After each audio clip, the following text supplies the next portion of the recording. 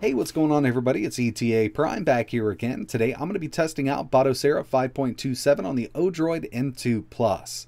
This board is one of my favorite ARM-based single-board computers of 2020 and for good reason because this thing is an absolute powerhouse, especially when it comes to emulation with Android or a standalone retro emulation operating system like Batocera here. And with the latest version of Batocera, which as of making this video is 5.27, they have added the ability to overclock the N2 Plus up to 2.4 gigahertz. And from what I've tested so far and the performance I'm seeing, this is actually turning out to be one of the best ARM-based single board computers for emulation, at least in 2020. And before anybody asks, yes, the N2 Plus is more powerful than the Raspberry Pi 4, but you got to keep in mind the Raspberry Pi community is absolutely huge, and it's staggering when you compare it to the Odroid community. Now, don't get me wrong, the Odroid community is big and it's rapidly growing, but there's still way more development going on for the Raspberry Pi series rather than Odroid, but we still have some really great stuff over here. Real quick, I just wanted to go over the basic specs here to get you up to speed. For the CPU, we have the Amlogic S922X. Four A73 cores up to 2.4 GHz, two A53 cores up to 2 GHz. Hardkernel offers two different models. We have one with 2 gigabytes of RAM, one with 4. They both have HDMI 2.0, four USB 3.0 ports. It supports micro SD card or their eMMC module, and the prices range from $63 for the 2 gigabyte model up to 79. So with that out of the way, I'm going to go ahead and plug this into my game capture so we can get a better look at the screen. I'm just going to show you some of the new features with Batocera, then we'll jump right into some emulation testing. So before we get into testing, I wanted to go over a few things with the Odroid N2 Plus and this new version of Batocera. The Odroid N2 Plus does have the ability to overclock up to 2.4 gigahertz. And if we go to system settings here, overclock, as you can see, we're set to extreme. So it does have the overclocking feature built into Batocera now for the Odroid N2 Plus. As for the theme, this is the stock theme, Carbon, but there's tons that you can download through the download section, updates and downloads, themes. And I've got a few of these installed. I mean, there's some really good stuff in here. Another feature that we have is the content downloader. So if you're running Batocera on the Odroid XU4 with the OGST screen, you can download all of the packages you need right here. Quake game files, bezels with CRT effect, and there's some games here that you can download. These are freeware games for certain systems. Let's go to UI settings, theme set, and we'll just go through a couple of these.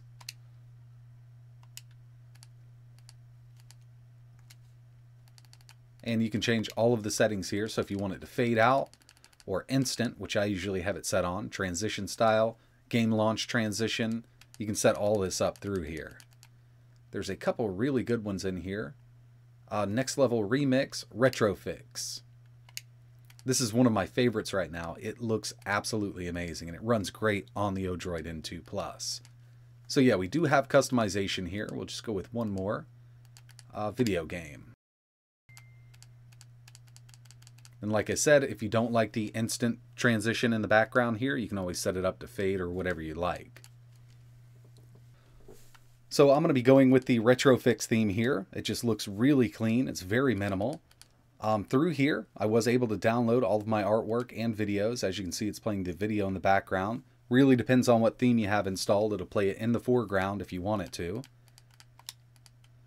Dreamcast, got everything downloaded. Internal scraper is working and you can scrape videos from here if you're using Screen Scraper.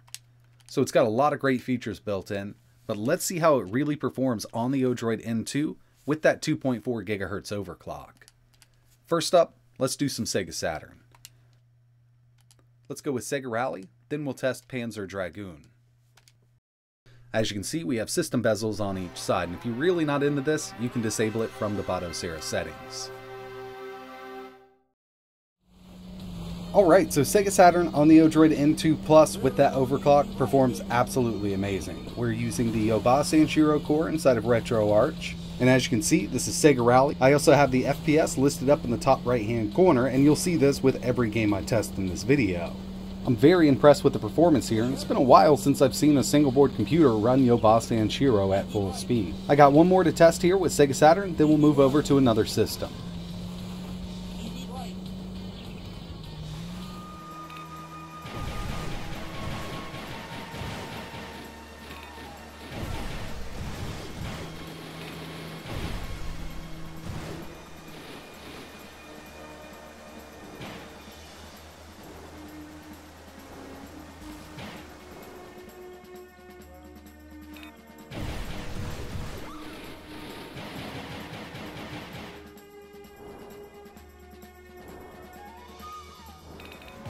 I also wanted to throw at least one PS1 game in here because I know I'll have somebody asking, and yes, this will run PS1 at full speed.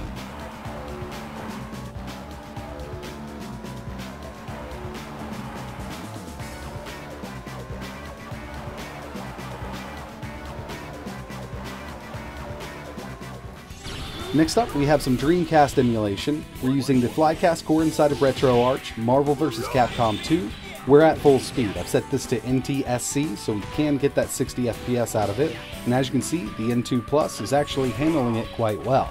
Now, in the past, with this single board computer, I've tested Redream and Android, and personally, I prefer running Dreamcast like that, but to see Flycast running this well on the N2 Plus is really amazing.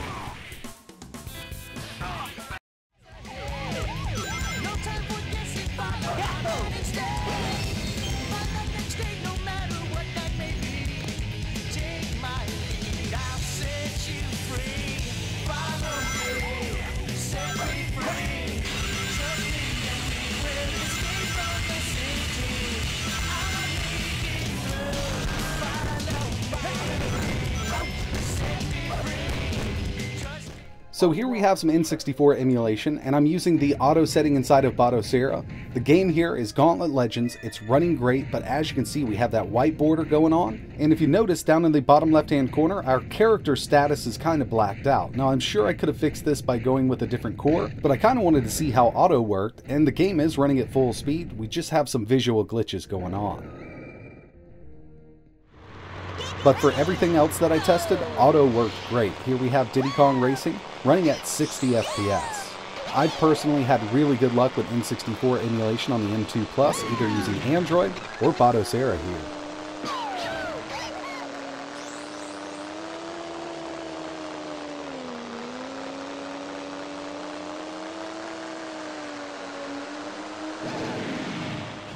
Moving up to PSP using the standalone version of PPSSPP, Soul Calibur Broken Destiny, 3x resolution.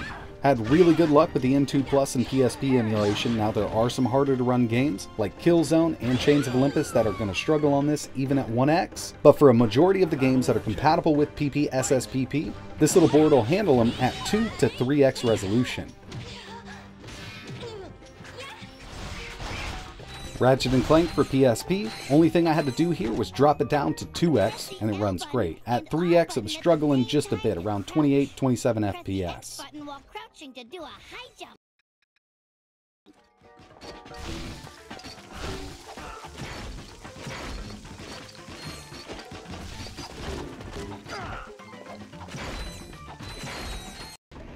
Finally, for PSP, we have Chains of Olympus. I have all the hacks on that I can do with this game, 1x resolution, and we're still struggling. This is just one of those games that's hard to run on these ARM single board computers. Now this is with no frame skip, so I'm going to go into the settings and turn frame skip on.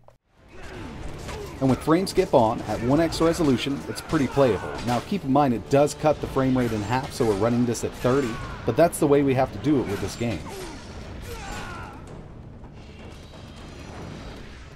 And the last thing I wanted to test here was GameCube with an easier to emulate game, which is Wind Waker. We're using Dolphin, it is built into Batocera for the Odroid N2 Plus, and even with the overclock and this easier to run game, we're not at full speed. I've done a dedicated video on the Odroid N2 and Dolphin emulation in the past, and I mentioned that it'll probably never run these games at full speed, and a year later, we're still not hitting it up. So yeah, the Odroid N2 Plus does an amazing job with emulation using Batocera, but to tell you the truth, I've actually had better performance with Android and emulation on this board.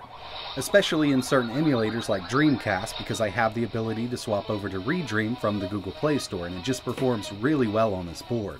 But either way you look at it, this is one of the best performing ARM-based single board computers for emulation that's on the market right now, and I'm not counting the $500 Snapdragon boards that you can get from certain development sites. We're talking about an easily accessible $63 to $79 single board computer that you can pick up on Amazon.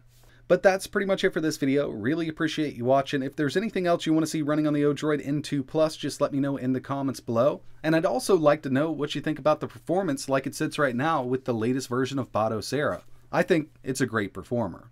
But like always, thanks for watching.